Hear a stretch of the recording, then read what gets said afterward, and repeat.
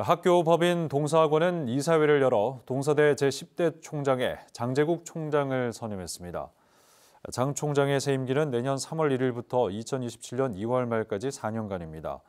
장 총장은 미국 조지 워싱턴 대학에서 정치학 학사 석사를 거쳐 미국 시라큐스 로스쿨에서 법학 박사를 일본 게이오 대학에서 정치학 박사 학위를 받았습니다.